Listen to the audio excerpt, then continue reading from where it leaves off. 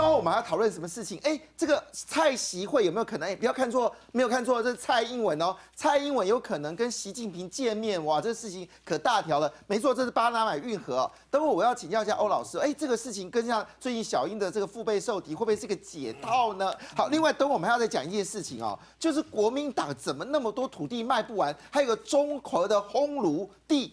烘炉地可以卖四十二亿，以前都不知道这块地耶，哇！现在国民党是不是挤牙膏，越挤越多土地可以卖呢？好，另外一个角度，我们等会要讨论一件事，是不是新的所谓的买办集团又出来呢？林宗生筹组基金会耶，哇哦！国民党真的很厉害，筹基金会。这个之前的这个新北市市长，后来的国民党主席，后来选总统选失败那位先生朱先生，一口气也搞了两三个基金会。现在林宗盛也要学样，还有唐协也是基金会。国民党基金会是满天飞吗？可是我比较焦点的事情，我还是回到刚才这个重点哦，我们还是把这事情解决哦。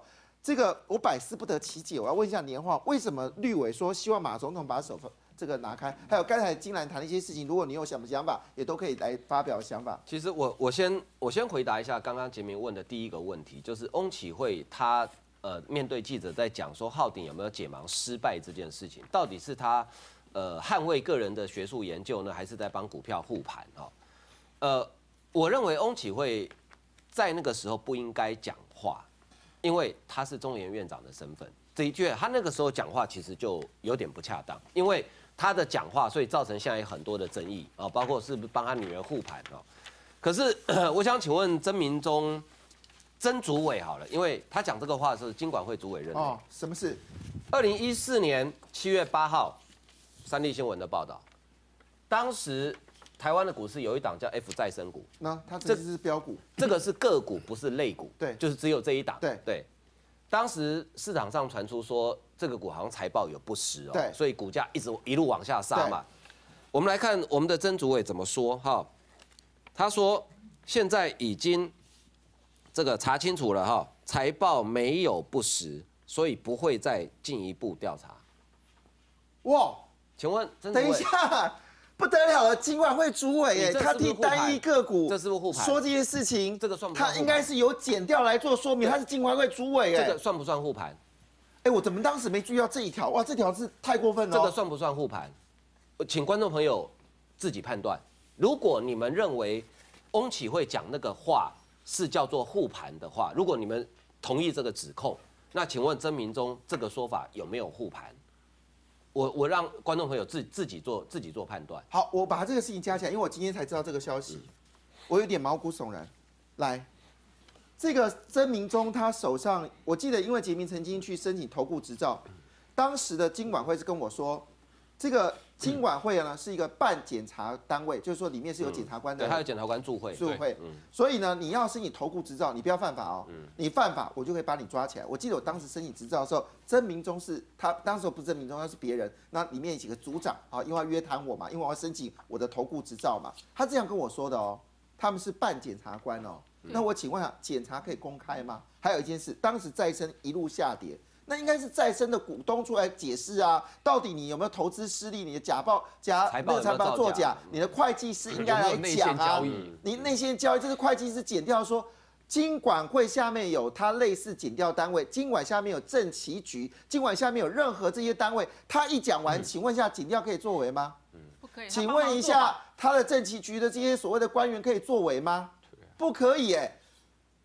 我刚才听完之后为什么吓一跳？原因是因为我去申请执照的时候，他对着我说：“你如果有做什么事情，我会把你们抓起来哦。”他是这种口气跟我讲的。当然，后来杰明还是申请到执照，因为我没做什么事情嘛。好，但是他这样讲合不合理？他就变成是对我很严肃，对再生啊说啊这个事情没事了，那是不是叫剪掉就闭嘴了呢？哇！监管会主委曾明忠先你以前干的事情，反正走过必先留下痕迹啊。所以杰明我。我们也我也不想无限上纲了哈，要不然我也可以说，哎，要查一下曾明忠的家属啊、女儿啊、儿子啊，有没有 F 再生的股票啊？对啊，有没有放空啊？在那之前有没有卖啊？或者是在他上市之前你有没有先买啊？之类，我我不要无限上纲，我只是说，有时候人在说话的时候，哦，有时候人在说话的时候，他可能在那个当下无心，他可能是无心的，他并可能并没有想那么多，也许曾明忠真的监管会真的查过了。这个 F 再生股也许真的财报没有作假，可是你讲这个话，你当年也许很多人没有注意这个新闻，可是今天注意到，因为当你证明中你在用这么高的标准在质疑翁启慧的时候，大家就会同样来检验你嘛。那你当年讲这个话算算不算护盘嘛？哦，好，那我再来谈哦，这一次为什么为什么会有绿委说马英九把手给呃收回去啊？我没有证据显示马英九有介入这这个事情，可是我这样讲好了。刚刚青黄分析，其实我从第一天这个事情一发生的时候，我就讲我说，就目前媒体报道的资讯来看，翁启慧没有犯法的问题。哦，结果还有一堆一堆人跑到我脸书来骂我说，我是非不分，好在捍卫翁启慧。就事论事，翁启慧的确目前到目前为止看起来没有犯法的问题。什么今天报纸头版什么图利、什么逃税、什么内线交易，那个都鬼扯。他目前为止。就至少现在媒体揭露出来的资讯一切合法，有没有道德瑕疵？有，我认为它两个部分有道德瑕疵。第一个就是我刚刚讲，在解盲这个结果出来之后，其实他不应该面对媒体做任何的陈述，因为他第一他是中研院院长，第二他又是这个技术的核心技术的拥有者，而且呃，因为这家他又是股票的上市公司，所以我认为他讲那个话真的不恰当。好，第二个。就是他隐瞒了他女儿有股票这一件事情，我觉得这个是道德上很大的瑕疵。那至于这个道德瑕疵，他该不该下台？我觉得每个人的判断的标准不一样。比如说有一个学生，比如说清黄是一个向来都是一个品学兼优的好学生，但是有一天他不小心偷吃了同学的便当，那是不是因为这样就开除他？哎，每个学校校规不一样。对啊，有的学校搞不好就像这样就要开除他。对啊，可是青黄旁边那个明佑那个同学。他还 K 了其他同学，可是他都没被开除，只被记大过。为什么？那为什么？就标准要一样嘛。对啊。我现在就要讲这个，中央研究院院长的任期一任是五年，那连选得连任一次。翁启慧今年是第二任，他的任期是到今年的十月。好，根据中研院的组织法呢，中研院的院长是由院士他们去挑出三个人，三个候选人名单给总统之后，由总统。择一遴选其中一个，所以总统大概有呃三分之一的决定权，因为最后前面三个入围的是由中研院的院士来决定的。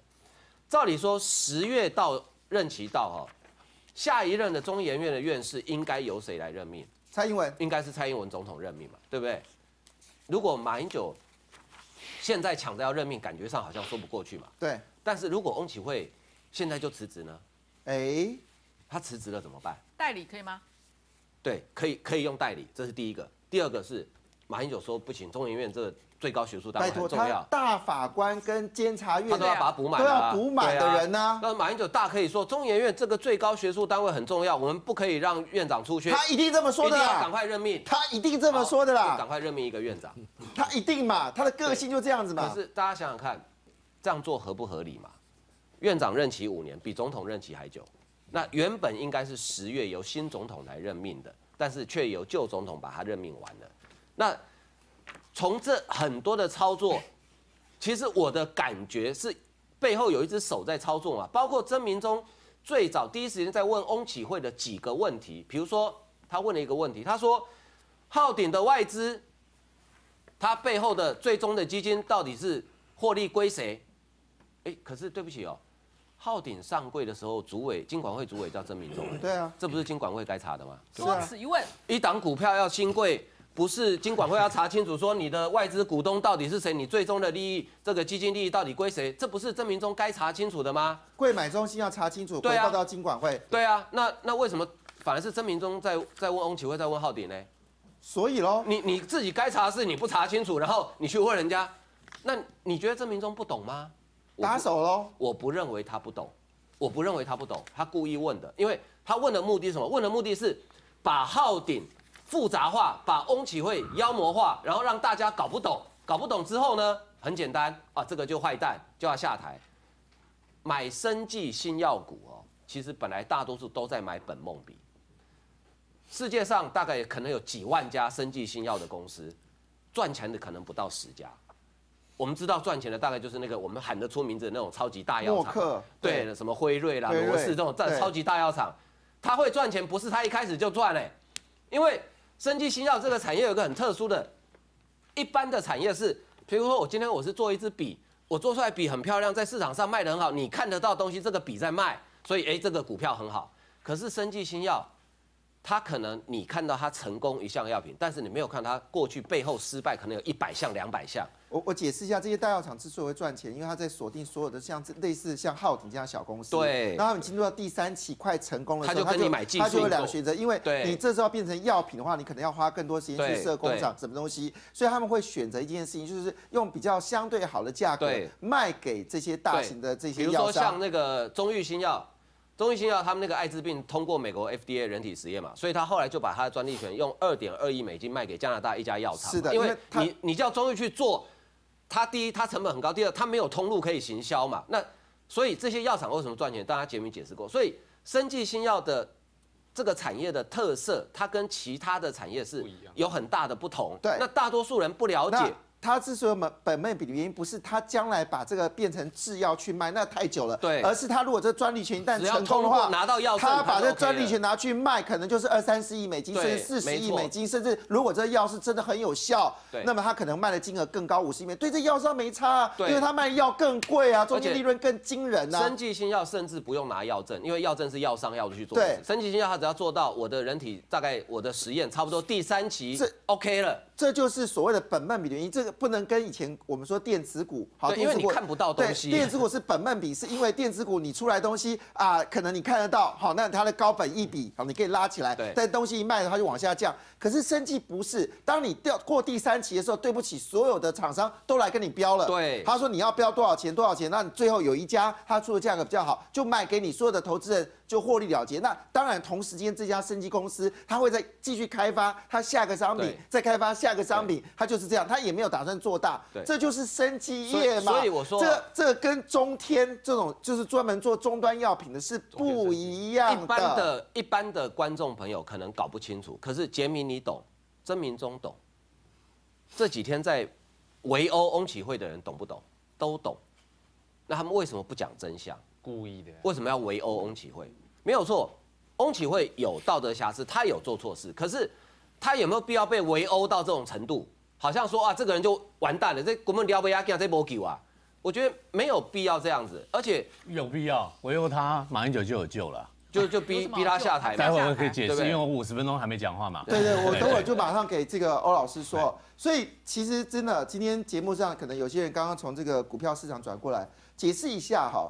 其实我们当我标靶一旦成功的时候，很多的这个生技制药就是以标靶药来，所以有些人为什么去医院你买的那个，比如说呃对大肠癌什么东西有标靶，那是因为这个标靶技术一出现出现之后，那么这些研究标靶的这些生技公司呢，就开始依据标靶不断的产生新的一期、二期、三期，然后送到美国拿到执照，然后卖给大药商。但是因为它有这个技术，它会继续下去。那像是那个所谓的、我们说的 cartel，就是呃 cartel 就是那个鸡尾酒法，它这个一旦出来之后，它其实其他很多类似的这种生疫苗呢，也可以去根据这个 cartel 方式，它又是一条学问。所以今天翁启辉它是代表是一个多糖体的这个技术，一旦这个技术成功了，它就不是只有乳癌，它其他的这个癌症它都可以继续的研发出新的疫苗，但是不代表号顶去卖。但是每个疫苗卖出去的时候，可能金额也许是两亿美金，也许是十亿美金，也许四十亿美金，也许是六十亿美金。那就在于这个市场有多大，那么哪些厂商要买。所以为什么生技业他说啊，它的这个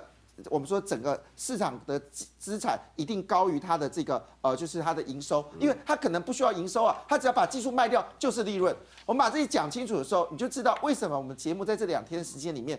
并没有像别人这样子围殴欧启会，其实它背后有因素。可是自己最关键的事情是，金管会主委曾明忠，他不可能不知道我所知道的故事，就这么单纯。那他既然知道，为什么要围殴呢？这就这两天杰明一直针对曾明忠质疑的原因。我想这答案慢慢清楚。难道又是马英九的手不要开始这个不要？不要这个呃，就是赶快又伸进来了吗？好，但是我想一件事情可能会听到马英九心碎的声音，因为蔡英文跟这个 习近平呃习近平可能会在巴拿马见面，这怎么回事？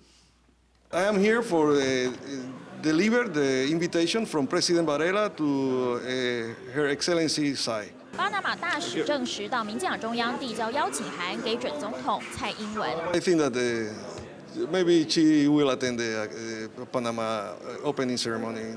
巴国表达期待，希望蔡英文出席巴拿马运河今年六月二十六号拓宽仪式。全球共七十位国家元首及政府领导人受邀，其中也包括中国大陆国家主席习近平，让蔡喜会出现曙光。呃，中共那边一直去避免在国际社会寻找两岸领导人在一个国际场合出现哈，所以从这个角度来看，我认为习近平呃想要借这个机会创造习蔡会的机会可能不会太大。巴拿马运河的整个构筑的过程中，也有包括包括中资的影子在里头，因此我们觉得其实这部分到底会影响多深多远，呃，还是蛮蛮值得推敲玩味的。所以绝对不是说人家给个请帖，哦，今天不是接到一张喜帖就吃喜酒，今天是人家给一张请帖，但是背后有蛮多的政治角力在里头。但绿委即便乐观其成，却也不免话忧心，因为台巴友邦一世纪，就怕习近平出席会让台巴关系出现裂痕。All yesterday when the people asked me about that, the Panama Canal is open to the international world. This is the answer for this question. But Taiwan is our ally and is our we have relationship with them and that's why we are here to show the people in Taiwan that the relationship between Panama and Taiwan are very good one. Don't need to be afraid and don't feel happy. Panama and Taiwan they are good friends. 但八国大使再再强调，台巴非常友好，请台湾人不用害怕。林将也表示，已经获知讯息，将在评估后对外说明。现在就看蔡英文如何面对上任后的第一个外交事件。借中马彩玲。听到了吗？我没有听到马英九心碎的声音，要忙了八年呢，八年才见到习近平。哎，我刚才哎没有，还是因为总统太远，我听不到声音哈。我不知道这个消息出来的时候，这个站在总统府的马英九是不是？心碎了，要回去剪碎片，还是赶快再修，把自己下面修得更帅，然后寄给巴拿总统，哎，说，哎，不要忘记我，我是马英九，嘿嘿，不要忘记我，还是要我邀我这个卸任的元首呢？我想这种事情啊，这种恶心的事情，大概全世界就马英九跟他的朋友，那位挚挚爱的朋友最爱干的事情吧。好，但是不论怎么样啊，哎，欧老师哦，我们现在看哦，这个我们本来想说这个。这这个有一位这个谢金河社长说要启动了这个政治核爆，可是核爆好像还没有闻到的时候呢，先听到就苏巧慧是不是要杠他杠小英这个事情，等我我会请教一下明佑啊。但是哎，这个消息怎么会突然发生呢？外媒突然说哦，这个与我邦交的巴拿马政府已发出邀请函。那他刚才还说了一句话，说哦，他说什么？哎呀，这个 Don't be afraid，就是叫我们不要担心巴拿马跟台湾关系很好。那那是谁让？让让谁 afraid 啊？那我先把这个综合前面的，然后连连到这个议题来啊，把它解说一下。目前呢，曾明忠所扮演的角色是炸弹客的角色，所以呢，他不是生产炸弹的人。第一点，第二，曾明忠的这个金融能力啊，金明你很清楚，全国所有财经专家把他排一排，谁适合到做金管会主委？曾明忠大概排不进一千名。如果曾明忠可以当金管会主委，你就应该去当央行总裁。我在讲不夸张吧？夸张。他的金融能力真的不好。好，我们都在财经界待过。那那个年黄做副副行长。OK，我们都在财经界待过。央行总还赚的没有我我说真的，因为金融界里面大家对于大家每一个人的财经能力，因为他是很很多细项去计算的，跟医学界是一样的。真民中有多少财经能力，你叫他自己出来讲。好，那我们就不多说了。就下一个，再来，为什么把？翁启慧作为这次的主角，以及现在为什么这么说？我简单的说，因为学者哈很适合用来当炸弹的引信，因为挤学者最好挤。哦，好，我我举一件很简单的例子，以我个人为例，啊，我每次你也是隐性吗？不不不，他炸了我把别人当隐性，对，炸了谁？你炸了？比如说我讲马英九，我还是马英九的姐姐，还是马英九挚爱的那一个都有哈。我要讲的是说，比如我在讲某学校，我没有讲学校校名，也没有讲校长名字。就会有三所以上学校跳出来说我在讲他，有包括姓金的吗？他不在学校里。哦，我意思说学者会自己对号入座，你知道吗？会自己越讲越多。结果我明明讲的是北部学校、中南部学校，有有人跳出来，然后说要告我告到底，然后去查以后发现欧同学没有讲任何学校，也没讲校长名称，然后我已经在他被。被在校务会里面骂了一坨拉。不会，告人是不需要理由，自己背背着行李去日本海关，然后这个被人家拍到相片，他也可以告人。所以告人其实不需要理由，OK，他爱告就告。OK，那我并从不像汪杰明，好直接提到金普通三个字，我连名字都没提到，就有人说告我。那这就是学者的特色。我我刚才不是说金普聪去日本，是金普聪去日本的时候被拍到。呃，是对，好，那我要讲是说，学者经常会自己就越报越多，好，这是学者自己的弱项。那翁启慧也是这样的情况，就是说选他做隐性很好用。好，那从他那里炸出来会造成什么结果？就是谢金河说的嘛，嗯我算一算，哦，影响到的人最多可以大概二十多个，还有二十多个影对，响但是他。不会立刻全部出来。那为什么要这样做？这大家很想知道。观众朋友，你只要看有一个人疑似怎样，可是还没有获得确证，然后呢还在争议之中，马上剪掉启动的，你就要想到是谁干的。聪明的大家一定知道，这一定要有府方的能力哦才能够干嘛？监察院疑似而已。剪掉对，财税，财税单位立刻全面启动，就好像我们看那个伦敦公战啊，那那打要这么全方面，那全全世界只有 ISIS 有办法吗？那打柯文哲也是马英九启动的吗？你你他啊没有还没有还没有到这么复杂还没有到这么复杂哦。这么高层级的，一定要府方才有办法立即的这样启动，所以绿委才会说，请总统把手拿开哦哦，就解解读出来了吧？啊那请问他为什么要这样？在这一阵这样，我们发现有什么效果？因为马上就少被骂了，党产已经被要到。救国团要被要回去了，妇联会要被要回去了，对不对？海外党产五千亿也查出来了，而且据说五千亿现在已经变三兆了，到这一步了，等一下，躲不了嘞。这个数字还没看到啊，你什么时候看到的？是谁讲的上？礼拜就有了，然后连越南那部分已经从五百亿变两千多亿了，还有人把单子拿出来了。好，可是这个这个炸弹一出来以后，就就对对就对。待会四位，你有听到哈？刚才欧老师讲的 海外资产变三兆，在越南已经变两千亿了。对你有听过这个数字吗2000多？那如果有这么多数字，干嘛急得连那个什么做瓦做瓦的那个土地都要卖？如果有的话，那国民党那些土地都不会卖了。不是啦，先往外卖啦，里面的先 先把它净空嘛，里面宣布破产嘛，因为这家公司烂掉了嘛，据我所换别家知的，公司嘛国民党。的一个党产哈、只有博流的一个股权跟那个日本的台贸大楼这样子而已。我跟你讲哈，选好，所以一样是前国民党跟现在国民党有这样的分歧，一个是说已经三兆两千亿了，一个说只剩博我。跟你讲，如果你选隐性选郑世伟，就什么都包不出来。好，他坚守如瓶，好，所以他是如瓶对对对，他是最好的哈。我们说那个最完美的好军统系统的人，好，军统，对对对对，我最完美知道的比较少了。哦，OK，不像我知道这么多，他最完美。军统他跟军事有关系吗？军事统治局啊，如果选他做特务，他会最完美，因为他现在欧老师还是活在过去。那我回来说，当他这样做了以后，焦点成功的转移了，还有另外一个效果，因为大家如此再攻下去，已经向再向前一步就是五二零以后，马英九究竟会不会坐牢，这个事情已经兵临城下了。是，以及他旁边那几个重要的人会不会坐牢，已经完全兵临城下了。这个炸弹一出来以后，我用闽南语翻哈，要死大家做伙来死，即马反正八甲尾啊，无你即马要安怎？好，蔡英文，好，无我要死互你，你看要安怎？这个就很明很白话了，就是这个意思。然后所以呢，派郑明忠出去，你先到站那克凯利亚，后面的按钮呢按在我这儿，我我要起我这，基本上是我的得利哦，就是这个道理。OK，于是郑明忠就出来了，按表操课。我为什么前面先铺陈告诉他说，郑明忠其实金融力是不好的人？为什么派一个金融力不好的人在前面呢？因为他会很乖乖的按表操课嘛。昨天我们不是在本节目说了吗？他原来就联络官出身的嘛。啊一个只是省议会联络官的人，省 政府联络官的人，哎，真的不简单呢，可以把做到金管会主委哎金融业的头号把手啊！如果按照那个年资来算的话，他至少在当时应该是某银行的副总经理那个 level 会比较正常一点，你懂我意思吗？我懂他不是，哎，他也不是那个系统了，他是那个联络所以官。所以这样子看起来，是不是美国现在看马英九已经看到觉得受不了了？所以马英九就指使巴拿马，因为刚才那句话画面很好玩了，竟然会有一个巴拿马大使对着台湾人说的这么一句话说：“Don't be afraid。”那到底是 who afraid？所以这个效应是不是替蔡英文解套了？我跟你讲哈，蔡英文看这个炸弹客以后，他看了一定觉得好笑，就说我都还没有出手啊，你就已经演了这么多一坨阿苦的戏出来了，那显然是你自己很猴急。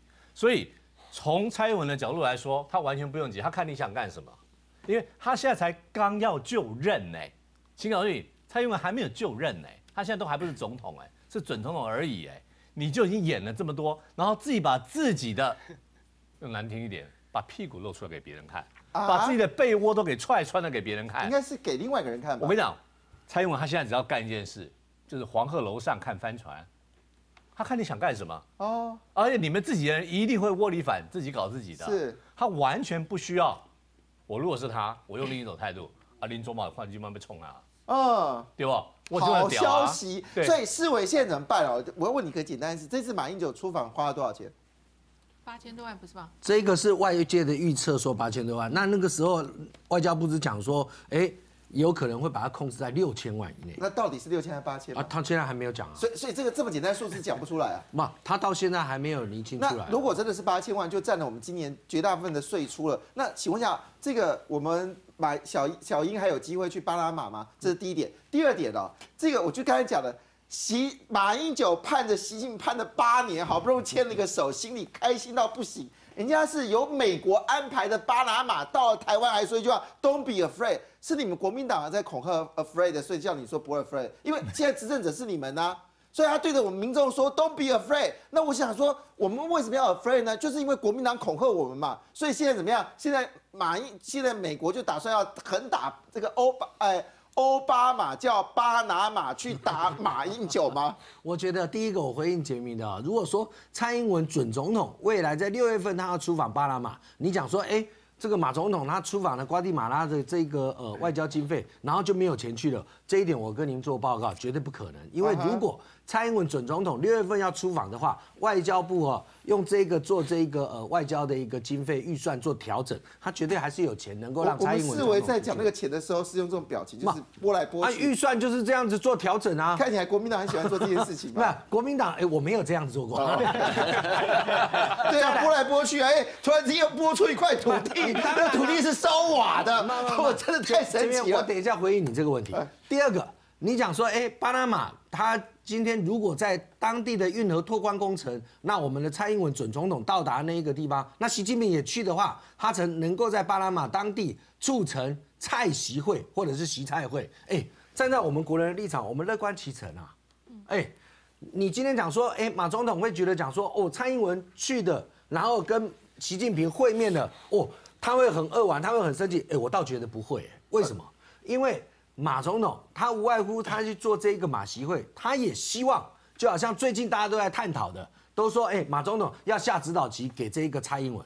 那事实上，如果蔡英文他能够在第三地跟习近平见面，如果以台湾来讲，哎，我们站在国人立场，我们是乐观其成我。我真的想这边旁边跑一个跑马灯哦，题目事情是说，你觉得马英九看到蔡英文去见到习近平，会觉得很开心的，还觉得不开心，觉得心碎的？我要请他那个表决一下，我看大家都觉得心碎。语音投票 我想做这件事情，可是我要讲一件事啊你不妨三月三十二号双英会谈的时候，哎，我们希望是世伟，我在问你他们能够谈我在问你到这个问题哈，嘿你你在讲那个马习会的时候，曾经说过洗马会吗？没有啊，没有嘛？但是你刚才讲蔡，你刚你刚才讲蔡习马习会的时候讲习蔡会嘛，所以 所以你心目中已你心目中已经或者是你心目中是不是已经就觉得哎呀糟糕，习近平可以见到蔡英文，觉得心里酸酸，因为你从来没有讲过你从来没有讲过你从来没有讲过洗马会我相哦。信呢、针对于这媒体的一个报道啊，你不管讲说是马习会或洗马会、蔡习你看会或洗你又改了蔡会，我相信媒体运用的一个空间。你如果说站在我方的立场，当然都是把我们的种种摆前面嘛。我觉得只有你有办法对付国台办的。那也不要这么说啦。但是呃，我今天话回来，我还是回应一下刚刚杰明哥一直想知道讲说那个航楼的土地的一个问题啦。对对对事实上，最近我都在内部的时候，我那个航楼这些土地，我都会在问你哦你等会再问我我一定会问你的。对，怎么 又有一块土地冒出来？到底因为我想说你一直讲一直讲，来没有来，我这样讲，嗯问到巴拿马，你要问到我们来宾一个人，因为他真的还去过巴拿马，而且跟陈水扁总统去过。我不知道马英九去过了没有，但是哎，有一个人真的有去过哈，有有去过嘛？马英九去过，去过这这次没去嘛哈？这次没有，好，来这个年画又是你哈，你去过巴拿马？我还去过两次嘞。哇，你还去过两次啊对啊？啊，一次是出访，一次是他们建国一百周年国庆。那那一次巴拿马也是扩代举办，因为一百周年国庆嘛。那一次美国是派他们的当时的国务卿，呃，就是打波湾战争的将军鲍威尔将军当总统特使。那英国是派了史恩康纳来爵士啊、就是就是那个演员史恩康纳来。林夕，对，就是他。哦，对，他是爵士，所以很帅，而且我还跟他做了一个短短的专访，哦，那有你帅吗？啊比我帅，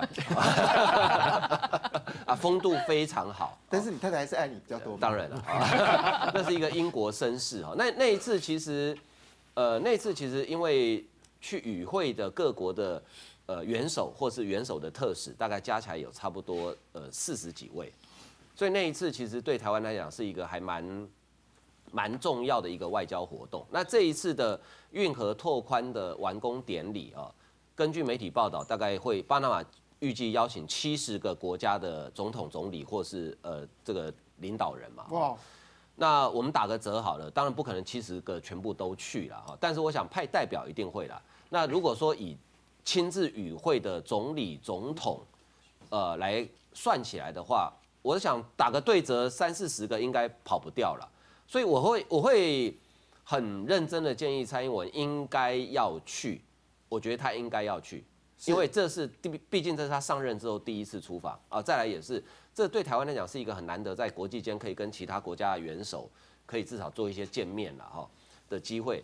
那我不认为习近平会去，嗯，因为以中国的基本国策，他不会在国际场合公开跟台湾的总统见面。变一国了。对，他就变承认你跟我对等，所以我不认为习近平会去。那现在双方是不是开始就要叠对叠呢？就是蔡英文也先不要讲说我要不要去，然后习近平也不讲我要不要去，可能到最后可能前两出发前两三天才开始去公布。但是无论习近平要不要去了，我想，因为中国这几年来非常积极在经营巴拿马，呃，很多观众朋友可能不知道。中国的外交部的官网从大概二零零九年开始就把巴拿马列为他们的邦交国。当时我们在有台节目还质疑过好几次，巴拿马明明是我们的邦交国，可是却被中国的外交部列为是他的邦交国，而巴拿马并没有双重承认。事实上，北京也不接受双重承认，所以这个谜，这个历史的谜团，一直到现在，就是好像两国都各自讲说我跟巴拿马有邦交啊，所以。呃，我我觉得中国应该，即使习近平不去，我想他们大概也会派一个层级不低的人去，因为几年前其实，呃，中国还想争夺巴拿马运河的经营权，那后来是因为被美国给出手干预，所以中国才没有拿下巴拿马运河的经营权。所以中国这几年其实，在巴拿马的经营非常的积极，他们应该不会放弃这次机会去加强跟巴拿马的关系。好，那。呃，对台湾来讲，巴拿马是我们在中美洲非常重要一个邦交国，而事实上，我们的长荣海运其实在巴拿马运河讲话也是有影响力的啊，因为它的船队通那个在运河的使用量非常之大啊，所以我觉得蔡英文今天他的回答说他会积极考虑哦，那我倒是认为说他应该应该要去了，不管能不能在这一次见到习近平，其实我觉得就顺其自然，能见到就见到。啊，如果见不到，其实跟其他国家元首见面，其实也是一个好事啊。好，讲到这件事是真好事哦。这个不过刚才我还是觉得回味不及不已哦。为什么这位巴拿马大使一定要在我们记者前面说 “Don't be afraid”？哈，不要担心，巴拿马跟台湾的邦交是很稳定的。可是你知道，每次人家说这句话的时候，我就会发麻。对，我最近都一直在发麻。反话。我就是最近发麻，因为他发麻可能是两种可能，一种可能就是。呃，我不会跟你断交。像之前不是有一个人跑去非洲跟人家比体力吗？好，比完半天的时候，人家就跟他断交。比体力的时候比的比的很开心哎，而且脸蛋的微笑，一定要输人家嘛。其实不是，人家是甘比亚的总统，那个身体那么强壮。但另外一个角度来说呢，令我感到很担心，是不是我们内部呢恐吓自己哦？是不是自己外交部在恐吓自己，说巴拿马那个蔡英文当选之后呢，就会断交，逼使美国要出招哦，让巴拿马来邀这个蔡英文哦。那么习近平要接招呢？习近平一直认为巴拿马是他们重要的国家。其实我跟刚才本来想要讲年晃，讲那个形容巴拿马长得是什么样子啊？听说它的景色是两极的哈。对。那不论怎么样呢？另外一个议题来说，其实这是一个严肃的议题。林中生大家知道吧？林中生竟然要去筹组一个基金会，他打算继续干买办吗？这次国民党之所以败选，就是因为买办横行。而林中生的薪水几乎高达三十万薪水，比陆委会的薪水还高哎！这个家伙老先生要花一百五十万去中国玩十天，这又是什么鬼呢？我们来看这个消息。海基会成立二十五周年，马总统到场祝贺，董事长林中森积极推展两岸政商交流，马总统相当肯定。我们当初找他来的时候，媒体说他是一张白纸，现在变成一本厚书。那总统告诉我，你到海基会，你要勤跑大陆。那我已经跑了四十多次，我到每一个地方，我都告诉他们台湾的成就啊。我们台湾人民是敦厚善良、勤俭朴实、乐观进取、理性温和、慈悲有爱心啊。那富我好礼。接任海基会三年半，现年七十二岁的林中森还没有退休打算。政权交替，两会关系势必生变。林中森打算自足中华民族发展基金会，据传已经获得海协会长陈德明支持，未来要持续发挥海基会现有功能。林中森哦，他的白手套干那么久了，还觉得时间做的不够长吗？那个林董事长可能是，呃，在中国那个地方经营久了，可能。当董事长当久了会上瘾吧？现在也有很多以两岸为名或进行啊两岸交流的这些社会团体或者基金会，其实已经非常的多了。有没有必要再去成立？我觉得这个还是一个问号了。不仅担任董事长时勤跑大陆，卸任前林中生还规划要再到对岸进行十天七省的毕业参访，预估将花掉一百五十多万旅费。执掌海基会三年多，看来林中生已经决定退而不休。记者综合道。怎么会有这种老先生哦？你刚刚看到一副这个很开心的样子，来我们比一下他薪水哦。这个这个薪水是名目上是二十四点七，可是根据这个委员的想法、立委的猜测，他薪水应该有接近三十万。那么陆委会主委是他的上司，只有十九万。然后呢，他的这个呃副秘书长的时候呢是十五万，那么升到这个副主委是十六万，就是海基会的副秘书长是十五万，那么陆委会的副主委呢是十六万。所以看得出来，陆委会副主委十六万赢过了这个海基会的这个秘书长，但他自肥。他自费薪水比陆委会薪水更高，到底是陆委会比较大呢，还是海基会比较大呢？好，那我们再来看哦，就一般处长的薪水又不一样了。这个陆委会的薪处长薪水呢是十二万，但是呢海基会处长的薪水竟然高达十二万到十七万元呢，十七万元呢。好了，那平均每个员工的薪水呢？陆委会平均每个薪员工现年薪是一百三十一万。其实说真的啦，讲在一般老百姓心里面哦，听起来很疼啊，对不对？这个随便人就是一百三十一万。可是如果你觉得一百三十一万你很心疼的话，海基会平均是一百三十六点二万呢。这是什么样的鬼？这家伙要花我们一百五十万跑去中国大陆玩十天，恶不恶心啊？我们关接下来观众电话来，台北的胡先生，胡先生你好。喂，你好。喂，请说。呃，我可以讲话了吗？哎，对，可以讲了，请说。呃可以，可以讲了哈。是。那个，我我觉得你们这节目做的，呃，在前就是把政府执政的时候，我觉得不错，就是监督他们哈。那我还是希望你们一本初衷，就是当新那个新政府上台的时候，一样强力监督。是，胡先生，我就会做到这个事情。对，我觉得像像。刚刚听那个院长的事情哈，我我的看法是这样。是。呃，院长如果呃他没有那种瓜田李下，我想大概不会被人家这样批评，对不对？可是如果今天他做的有有让落人口实的时候，他自然而然会被人家批评。那至于事实是怎么样，我觉得我们都不用去预设什么立场。那我还是鼓励伊电视，就是说做好你媒体该做的事情。好，我我不希望。一电视最后绿化，因为这样看呢，我就会觉得很悲伤。因为我觉得说，你们监督马政府，我觉得那个非常给你拍拍手。因为我觉得国民党的蛮憨也让你们，就是说把他指正，而且把他打倒。那我觉得这非常好。我非常看喜欢看到就是说，政党的轮替这种是一个健康的事情。但是媒体要有媒体的格啊，媒体要有媒体的那个该做的事情，而不是说今天当新政府上来，好像你。帮他上台之后，好像你变成他朋友，你变成他同路人，那我这个就不希望看到。好，好，吴先生，谢谢你这些建议，我们一定会监督新政府，你放心啊，一定会的。好，另外是台北的吴先生，吴先生你好，你在线上。啊，你好，是啊，我是想谈那个巴拿马的那个庆祝活动哈。好啊，那个蔡总统哈，假如是这个台湾的名称国民哈不被矮化的话。应该参加，但是可能习近平就不参加了。然后，假假如习近平要参加，一定要中国，然后被矮化的话，哈，这个要考虑了。这个是不是蔡主席，呃，这个本身要出席呢，或者是由低比较低阶层的那个代表去参加，这个都要考虑一下。吴先生，我请教你个问题啊，你会不会认为这件事情跟美方一定也有关系？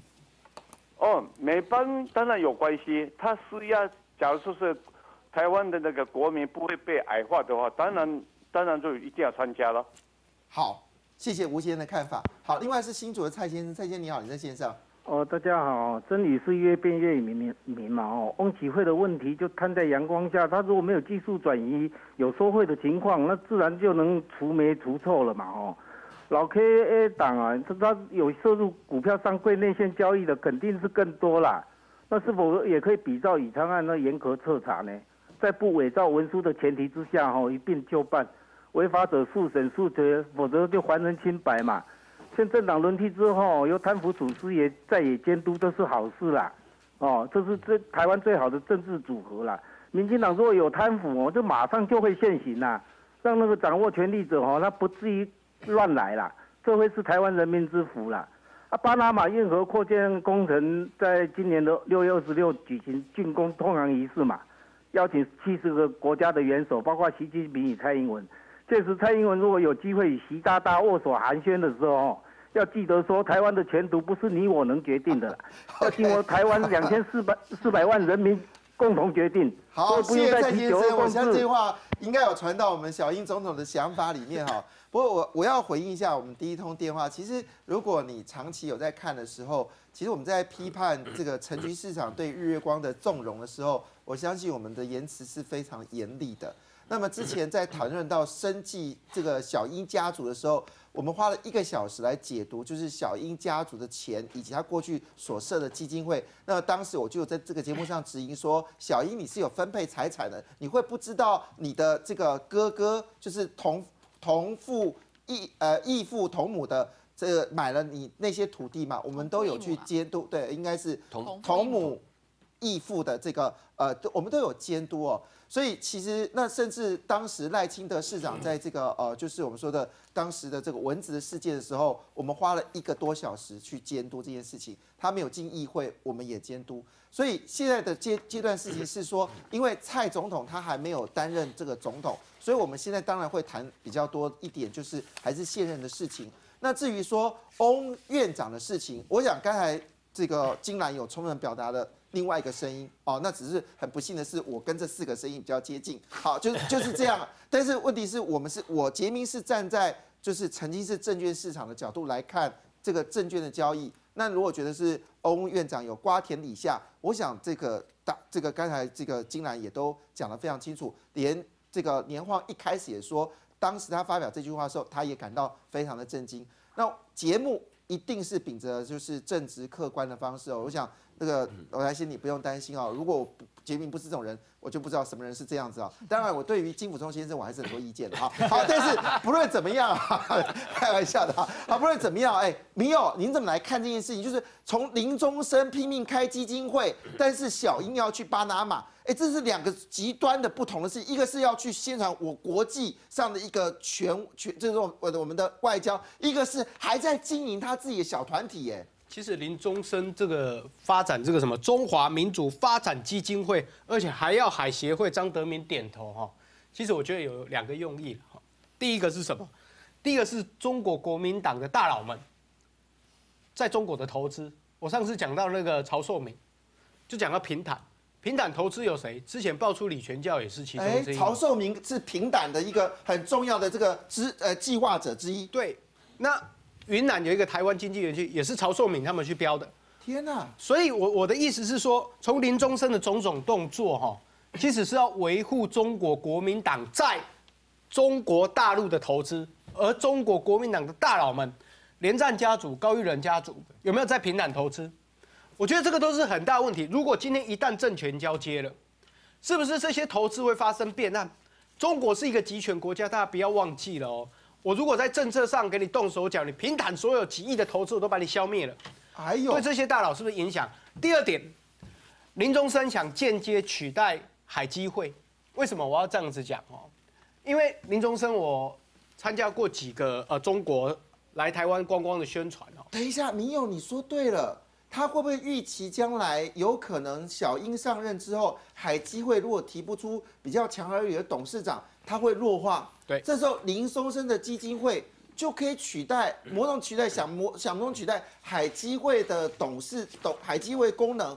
哎，这样很恶心哦，这是第一点。第二点，他这次去拜访十个重要的城市，他其实是不是在找据点？将来由这个基金会直接掌控这十个据点，想办法去影响小英在中国大陆的活动，是这么恶心的事情吗？杰明哥，你要讲的跟我讲的差不多。为什么？因为林中生他任内最大的呃特色，就是每一个月哈，在圆山饭店都有中国各省代表团，我们新闻是看不到的，在那边开记者会。开记者会宣传，哎，各省的什么观光景点啊，啊，两岸的合作啦，观光合作，所以林中生是很，这一次去几个据点都是跟他有观光上利益的合作。另外一件事情，海基会他现在如果小英执政跟中国停止对话，两岸关系停止对话。对国民党有没有很大的影响？很大的影响啊！所以林中生才要成立一个叫做中华民主发展基金会。我们光听名字就够恶心了，就叫中华民主族群的族。我们是同一个血缘的，所以我们未来国共是合作的。哎，民进党现在执政的那是民进党害怕的事。如果今天蔡英文停止跟中国对话的话，我们这个基金会就取代海基会跟陆委会这样的功能。另外第二点。我们刚才我们一直看到哈，中干建交的时候，哎，中国照让我们这边呃国民党在新风，不要忘记现在执政党还是中国国民党，海美政权交接。可是他们一直在讲说，如果蔡英文一上任，雪崩式的外交，第一个外交会雪崩的是谁？巴拿马。所以刚才我们看到的他的大使已经表明的非常清楚了。恐吓的声音是来自于国民党。执政党对民人民的恐吓，没错，这个这个我觉得就是长期以来，嚯，什么九二共识，你一中同不同表，都是同样的问题，都是中国国民党在制造这个议题，帮对岸在兴风作浪，给台湾人民恐吓。所以小英如果到巴拿马去，第一个他不会在现在表态，因为如果他急着表态，中国又要大手笔的动作出手，不要忘记了巴拿马运河。第二大的载运量就是中国的载运量，所以中国是巴拿马很重要的投资伙伴。可是另外一个重点，巴拿马长期以来是美国的后花园，它很多还是听命于美国政府的指示，所以他邀请蔡英文来，一方面是给中国非常大的压力。所以我我敢说，习近平不会去，因为去了就降低他的国格。如果巴拿马到时候要用中华民国呢？不是用一中了哈，不是用 China 了，Republic of China 是中华民国呢的总统到巴拿马来参加我们的运河开幕的典礼，而习近平去要用什么样的名字呢？这双方这种外交角力哈，还要再进行一阵子，因为我代表处已经接到这个帖子了，正式的邀请蔡英文就任总统后六月到巴拿马去参加他们运河典礼，所以我们从这两个画面来看哈，比例上非常强硬。为什么？因为这几这段时间哦，马习会之后，我们看到马总统不断的、不断的拓展他的外交空间呢。可是拓展的是中华民国的外交吗？问号。为什么问号？因为就有立法委员就正正式的要叫外交部提出说明，因为有日航苏志芬嘛，他就说日航，哎，你怎么可以用？就是这个消息，来看一下，来。松山机场登机证竟出现中国台湾，这是 PTE 报的哈。那么发照国家地区叫做中国台湾，那么国籍中国台湾哦，这个事情爆出来之后，松山机场已经向全日空反映修改系统。那我的问题事情是，松山机场你是失能了吗？所以。所以会不会就有很多人就喜欢从松山机场到日本，然后再之后日本的这个地勤人员帮他搬行李呢？是这样吗？所以回来一件事情说，哎呀，全日空怎么会做这个事情？哎，很恶心哎。所以恶心哦，包括我们呃前几天我们节目也在讨论越南这个足球代表队的问题，中国台湾同样的问题，台湾其实是不断的自我矮化，包括巴拿马等等的国家，其实都一直是看着台湾在自我矮化，我们一直给。台呃，国民党一直矮化我们台湾才对了，这样讲正确才对了。所以我们可以看到，马英九再说一遍那句话：国民党一直矮化我们台湾。郑世伟有意见，我等一下回应。我看他没有反应哈。所以你看，马英九总统可以容许容许 China 的存在，国民党搞不清楚一中同不同表，我们外界也不飒飒，不飒飒就算了。林中生去发展中华民族基金会，民族民族民族，他们是同一个族群的。最近又看到台侨华侨的争议等等，是不是马英九政府造成的？会雪崩式的外交吗？我跟各位保证，如果台湾的主权捍卫够强，不会发生。如果我们自己失去信心，就真的会雪崩式的轻中。好，来我们来看一下这过去的历史，真的历史会不断的展展现它这个反走过必留下痕迹哦。我们来看一下，因为这次引爆点是林宗生竟然要设一个基金会。那根据这个呃刚才民友说法是，这个基金会将来的目的是要是要做观光的生意呢，还是要取代未来小英执政的海基会呢？好，不论怎么样，当时马英九可是赞美林中生使命必达，哎，意思说只要林中生所做的每一件事情都是马英九希望他使命必达。按照马英九赞美李宗生使命必达的说法，我们就可以合理的怀疑林中生要搞基金会是不是马英九指使的。我们来看这个内容哦。马英九说，相信林中生未来可以变成台湾跟大陆最重要的桥梁。Bingo！所以海基会没有，他继续请林中生做桥梁吗？而海基会变什么东西？根据这个立法委的说法，海基会已经变成是国民党的特种党部，叫做海基会养老院，就是现在。那么他说，把董事长当做基乐，把海基会当做养老院。反观中国的海协会，大量的换血、换血年轻化，那我们是大量的换血老年化。你看这林林宗生这个老样，好，所以换言之，赖正昌就说，海基会已经变成国民党肥猫养老院了。果然薪水特别高。不止如此啊，我们继续看国民党干这种事情是不是有经历呢？有，来，我给大家看一下，这是上海的房地产哦，在浦东哦，一块地要四万元一平方米哦，那么折合这块地呢，只有多少呢？这块地只有大概差不多五千六百平方米，要卖五点六八亿。我们再看一下，这是在二零零六年的房价哦，二零零六年房价呢，大概是来看一下，二零零六年呢，有块地在上海浦东。那这块土豆地的价钱呢是四点五亿，土地面积是二点四万平哦，二点四万卖四点五亿。我们来看一下，我们看一下我们伟大的这位先生哦，这位伟大先生是谁呢？这伟大先生叫徐立德。徐立德呢，跟连家的关系是不言而喻的。连家是中国的买办哦，问号。这个我想大家都认为连战连战在这个中国是有些利益的。连战，我想你也不需要否认吧？哦，好了，那这个徐立德继续完成这件事情吗？好，他的环宇投资去浦东买个买一个就是医院，那个医院高达一点六万平方米哦，价格只要四千七百五十万人民币。你有没有看错？再看一次，来。二零零八年、二零一七年、二零一八年、二零一七年，徐这个徐立德用他的环宇投资，环宇投资怎么来的？环宇投资是由这个蓝银色彩浓厚的企业又来了。那我问一下，这个林中生的这个基金会也是蓝银色彩的基金会，还有国民党的事业加起来，好，虽然徐这个这个呃徐立德说不是国民党，但是是不是国民党？又是不是国民党把钱转过去的？可是重点事情是，为，在上海浦东，哎。我们刚才讲最便宜二点四万平要卖这个四点五亿，所以平均每一平大概至少卖个一亿多的人民币哦。结果他买四千七，呃，是买这个一一点六万平，只要四千七百五十万人民币，这什么鬼？所以我要问一些市委啊，难道国民党这次败选不够吗？国民党败选就是基金会太多，党产太多，还有两岸太过轻中，现在。还要继续输下去吗？由林中生所带领这些残余部队，继续让你们国民党继续输下去？杰明哥刚刚一开始就讲啊，国民党一月十六号败选，那国民党如果说像刚刚民佑所说的，我们都用恐吓式的一个外交，我们都是恐吓式的两岸政策，那国民党不会败选啊。那今天既然我们提出我们的论述，那我们今天民主的一个过程我们输了。那今天你说这个海基海协，大家也都知道。是两岸官方的民间组织做两岸交流的一个事务。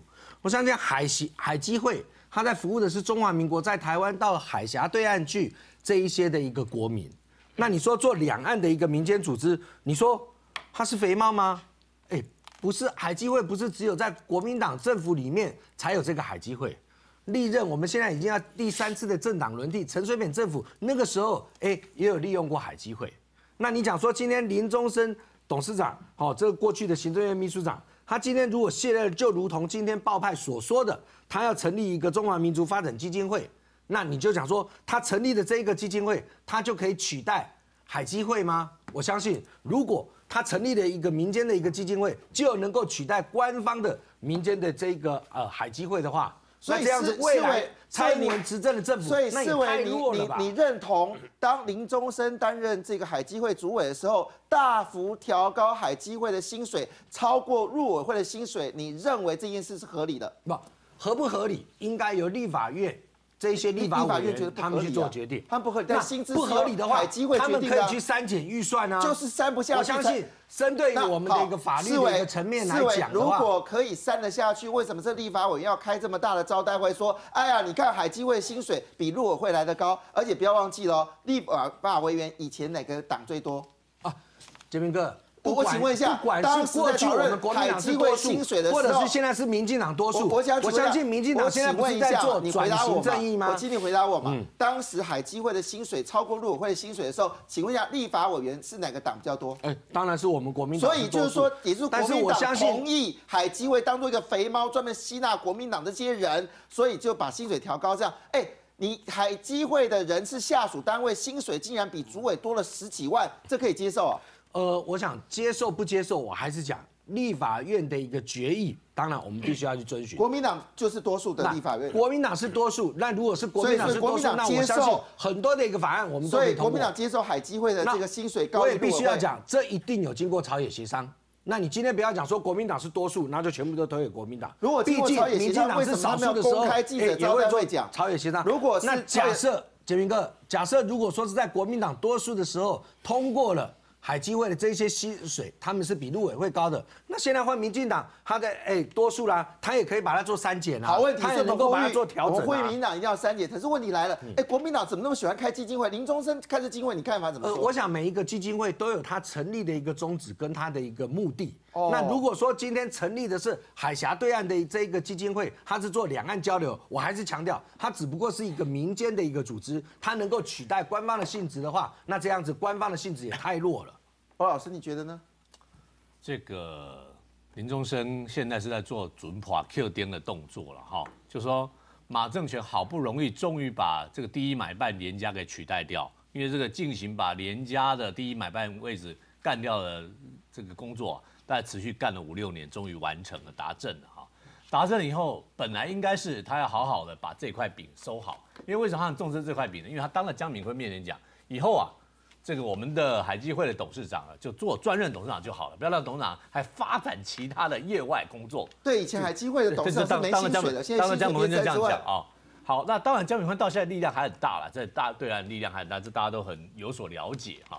可是马的意思一直是要把李延家也好，这个江明坤也好，或者是甚至高家也好的力量，设法把它摆开，让他回过回到这个国家的正常化来。照理说本来是这样，但现在因为。